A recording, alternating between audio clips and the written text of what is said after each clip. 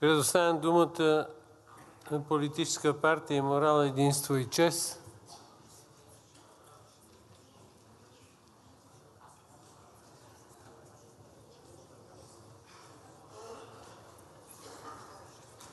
Господин Василев, заповядайте, имате думата.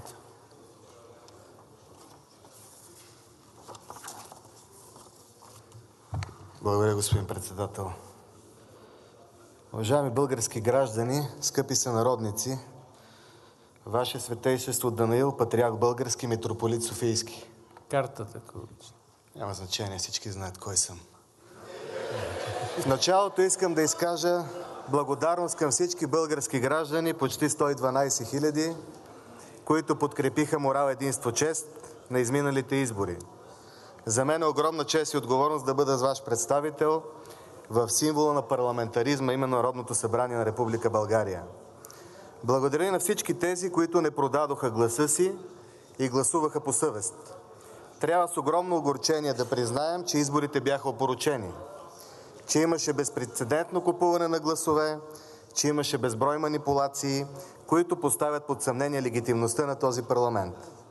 За съжаление, държавата покровителстваше всичко това и се превърна в съучастник в този фарс. Отново призовавам за пълно касиране на изборите в името на справедливостта. Ще започна с нещо любимо.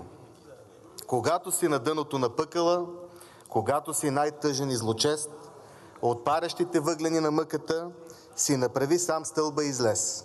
Светът, когато мръкне пред очите ти и притъмнява в тези две очи, сам слънце си създай и от лъчите създай си стълба и по нея се качи. Когато от безпътица премазан си и си зазидан в четири стени, от всички свои пътища премазани, нов път си направи и сам тръгни. Трънлив и зъл е на живота ребуса, на кръст разпъва нашите души, загубил всичко, не загубвай себе си, единствено така ще го решиш. Това са стихове на Дамян Дамянов. Те са символни. Стихотворението към себе си е част от стихосбирката Още съм жив. Творбата завършва с една максима, че дори човек загубил всичко, не бива да губи себе си, самоличността си, не бива да губи и да продава душата си. Скъпи българи, ние загубихме 35 години. 35 години в надежда за промяна, която накрая неминуемо се оказваше подмяна. И живяхме заедно една фалшива демокрация. Бяхме лъгани и предавани от комунисти, социалисти, демократи, царисти, патриоти и съпътстващите ги десетки фалшиви спасители. Срещу българския народ вече десетилетия се води война от собствените му политици, а той се бори за оцеляване в невъзможност да надигне глава, мислейки за насъщния. Народът смята, че българската политическа класа е срамна и позорна, дълбоко прогнила и ефтина. Народът е прав. Самоличността ни на българи е подложена на съмнение и корозия от псевдополитици, имплантирани в обществото ни и щедро финансирани, за да рушат нашата вяра, идентичност, ценности и морал. По време на трите кабинета на ГЕРБ преживяхме нещо съвършено ново. Станахме свидетели на почти пълната и почти невъзможна симбиоза на държавата с мутрите, която доведе до, до това, че днес мафията в България си има държава. Опростачването като норма на поведение и грабежът на обществения ресурс като задължително условие достигнаха връхна точка, която създаде устойчив клептократичен модел на управление. Този модел си има елит, силови структури, бизнес империя, администрация, експерти, медии, социолози, политолози, прокуратура, Висш съдебен съвет и проксита тук в парламента. Това е модела на пачките, кюлчетата, къщите в Барселона, 8-те джуджета, фалшивите нотариуси. Това е модела на Ало Ваньо. Това е грабежа на Корпоративна търговска банка. Това е модела ти си го избра началник. Това е модела на купения вод, на купените министри, на купените души. Обединяващо звено на всичко това е корупцията, най-силната спойка. Зависимостите, алчността, некадърността и страхът.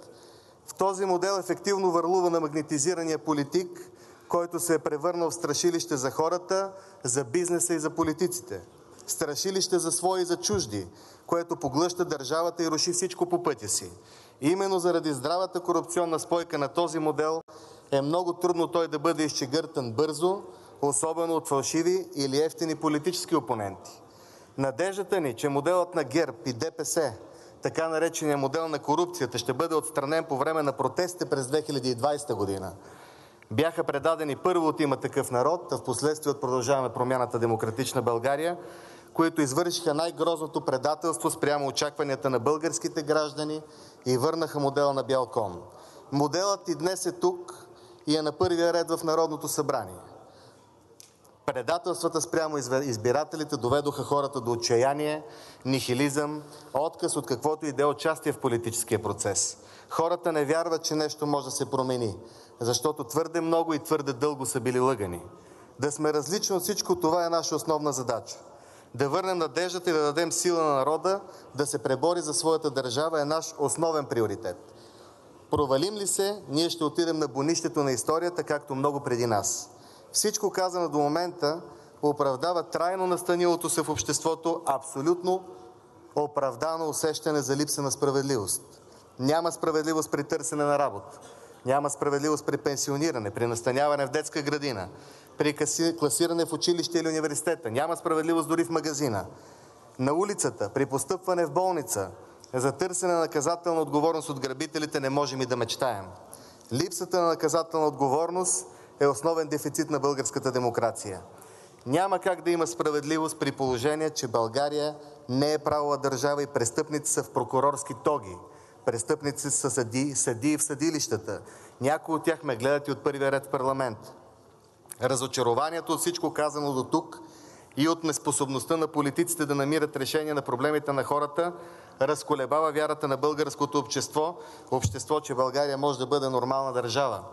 И всеки ден ние с Вас чуваме репликите: „Нищо няма да се промени, и те са същите, всички са еднакви, ще ги купят и тях“. България спешно се нуждае от изграждането на нова политическа класа и формиране на свободно и овластено независимо гражданско общество. България спешно се нуждае от въздаване на справедливост. Сигурен съм и обещавам, уважаеми българи, че слизането на меж в Народното събрание започва нов етап от българската политика. Гласът на народа ще се чува все по-силно, волята на народа ще стане незаобиколима, истината в политиката ще се превърне в норма. Убеден съм, че българският народ се пробужда и осъзнава, че може да сбъдне своя огромен потенциал само в свободна държава, без Борисов и Пеевски. Трябва веднъж завинаги да бъде сложен край на омертата в българската политика. Хората искат стабилност, искат решаване на техните проблеми. Това са проблемите, свързани с повишаване на доходите, с работните места, със сигурността, с икономическия растеж, със съхраняване на енергийната ни сигурност и националния ни суверенитет. Няма как решението на тези проблеми да бъде направено с участието на създателите на проблемите от ГЕРБ и ДПС-тата. За меч има три възможни варианта за политическа алтернатива в конкретния исторически момент: максимално широка политическа коалиция срещу ГЕРБ и ДПС-тата, кабинет на споделената политическа отговорност с присъствието на ярки политически фигури в него, кабинет, който да наложи 4-годишна карантина на модела Борисов – Пеевски в 51-вия парламент и да въздаде справедливост. Вторият вариант са предсрочни парламентарни избори. Третият вариант е нова порочна сглобка срещу българския народ. Това означава кабинет на дяволското гърло, който да погълне всичко. Кабинет, роден след нови предателства. Този вариант ще остави меч в дълбока опозиция и ще предприемем крайни действия за защита на българския народ. Народът, който трайно отсъства от дневния ред на политиците. Изберат ли третия вариант, ще се опитат да обяснят колко важно за България, колко евроатлантическо и стратегическо е да бъде подкрепен корупционният модел на фалшивия победител от изборите. В тази връзка се обръщам към посланиците и представителите на дипломатическите служби на държавите – членки на Европейския съюз, които традиционно присъстват на първото заседание на парламента и ни наричат партньори. Уважаеми партньори, българският народ е все по-скептичен към нашето партньорство, защото Вие, които постоянно говорите за правова държава, за върховенство на закона, за борба с корупцията, сте безмълвни наблюдатели на вихрещ се корупционен модел в България през последните 15 години и не правите нищо, а дори каните модела на посещение във Вашите посолства. Българският народ остава с усещането, че злоупотребите в България се покровителстват от най-високо ниво в Брюксел и Вашите правителства участват в тях. Националният интерес на България е все по-неразбираем за Вас. Европейските ценности са все по-неразбираеми за нас. А това всъщност ценности ли са? След 17 години в Европейския съюз България с разбито земеделие, здравеопазване, образование, отбрана. Следват се безумни зелени политики, които унищожават българската енергетика и огромната надежда в обществото, че след влизане в Европейския съюз всичко ще се промени с магическа пръчка, вече е само мит. Надявам се консервативния полъх от Вашингтон и разумната позиция на Будапеща да ви дадат сигнал на къде тръгва света, Европа и България. Новият поръх в България се казва меч.